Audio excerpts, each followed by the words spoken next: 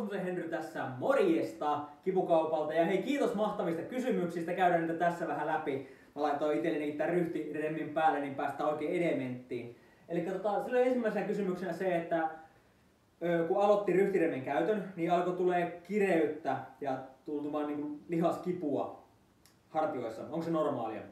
Kyllä, koska mitä sinne nyt tapahtuu? Eli jos me ollaan oltu pitkän aikaa siinä etukumarassa asennossa ja se on ollut se meidän luonnollinen asento pitkän aikaa ja nyt ne meidän asentoa taaksepäin vienyt lihakset, niin ne on hieman heikentynyt, kun ne on ollut siinä ylivenytyksessä. Niin nyt, kun sulle alkaa tulemaan niitä toistoja päivän aikana, sinne ryhdin ylläpitämiseen ja tänne takaisinpäin vievään asentoon, niin sehän on lihastyötä. Ja kun lihas työskentelee, niin se sitten myös rasittuu.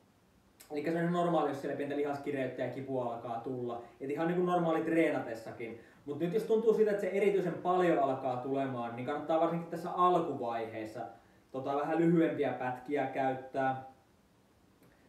Ja näin, että se alkaa niin kuin ikävästi tuntumaan sitä kipua, mutta yleensä se ei kestä pitkään, että meidän keho tottuu aika nopeasti siihen. Että alkuun saattaa tuntua hieman ikävemmältä, mutta sitten keho alkaa siihen tottumaan. Mutta jos näyttää siltä, että alkaa niin kuin todella paljon niin kuin oikein häiritsevästi tulemaan näitä lihaskireyksiä, niin sitten voi tuota ottaa pois ja pitää lyhyempiä pätkiä. Mutta pääasiassa kehon pitäisi tottua siihen asentoon aika nopeasti ja näistä pahimmista niin kuin jumeista ja säryistä pääsee sitten eroon. eroon. Tota, sitten seuraava, pään työtyminen eteen, eli nyt tämä ryhtiremmi, tähän pysäyttää tämän hartioiden kääntymisen eteenpäin jos monesti tässä kohtaa y- yhteydessähän toimii myös tämä, niin kuin, että pää työntyy eteen. Mutta tämähän on edelleen mahdollista, vaikka ryhti on syvä, niin pää työntyy eteen. Niin tota, tämähän on myös opittu tapa. Eikä kun me paljon ollaan tietokoneella, mä itsekin paljon olen tietokoneella, mäkin välillä huomaan, että mulla se pää karkaa tänne näin, niin sekin on ihan, täytyy alkaa opettamaan kehoa. Eli samalla aina kun korjaat ryhtiä, niin muista myös se pään asento. Eli yhdistät sen koko korjauksen. Näin, mutta semmoinen mitä tässä voi tähän pään eteen työntymiseen alkaa tekemään, eli nyt kun me ollaan niin paljon ollut sitä etukumarassa asennossa, niin meillä on täällä tämmöinen kuin niskarusetti. Tässä on tota, siinä reeniohjeessa onkin, onkin jo tästä, mutta tämmöistä niskarusetin venytystä voi alkaa päivän aikana tekemään. Eli se on tämmöinen kaksoisleukaliike, tähän niin kakkunaamaan tulisi tämmöinen hyy en syö. Eli lähtee tuomaan leukaa kohti kaulaa. Pitää 3-5 sekuntia sitten rentouttaa. 3-5 sekuntia rentouttaa. Ja miettii siitä, että pää liikkuisi niin tasasta lautasta pitkin eteen taakse. Et ei, niin kuin, ei ylös eikä alas, vaan eteen taakse.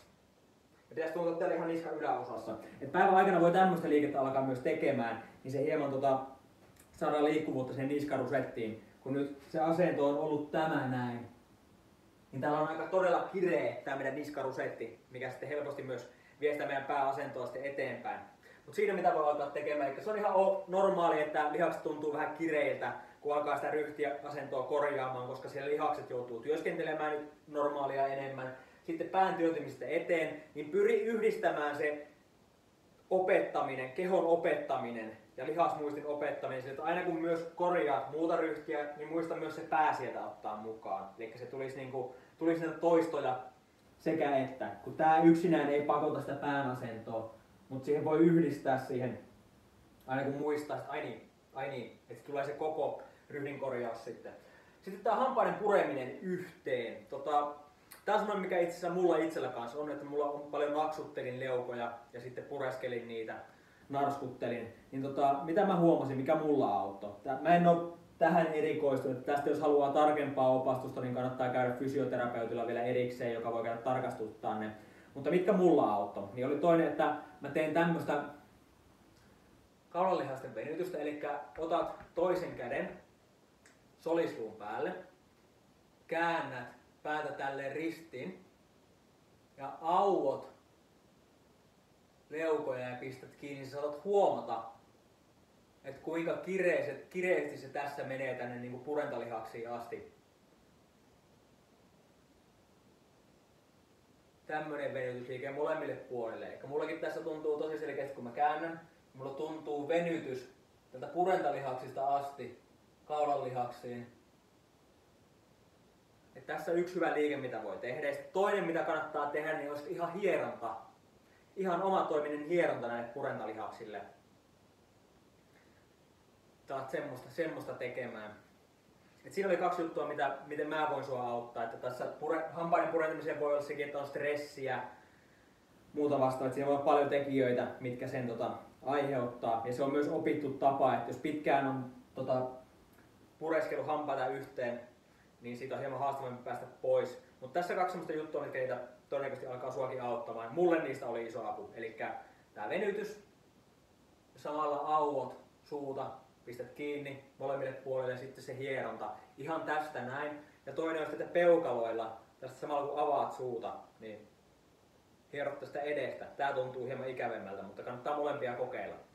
Et siinä, toivottavasti niistä sulle nyt apua. Ja hei kiitos nämä mentaalivalmennusjutut, kiitit niistä, että sä tykkäsit niistä meidän motivaatioviesteistä. Ja tota, jos kiinnostaa, niin käy tota meidän YouTube-kanava tilaamassa. Ja sitten tota meidän seuraaja Facebook-sivulla, siellä on tota todella ajankohtaisia näitä mentaalivalmennusvideoita, koska se on loppujen lopuksi tärkein tekijä tässä oman hyvinvoinnin ylläpitämisessä ja kehittämisessä on se, että meidän mieli on mukana siinä. Ja me tota, saadaan itsemme tekemään niitä asioita, joita me haluttaisiin tehdä, eikä sitten tota, anneta periksi tai luovuteta silloin, kun alkaa tulemaan mieleltä vastustusta, vaan me osataan työskennellä sille, että aivot auttaa meitä saavuttamaan meidän tavoitteita. Näin. Mutta ei kuule, kiitos vielä kerran kysymyksistä, toivottavasti tästä oli apua. Ja laittele vielä sähköpostia, jos kysyttävää tulee. Ei kun moro. Zup.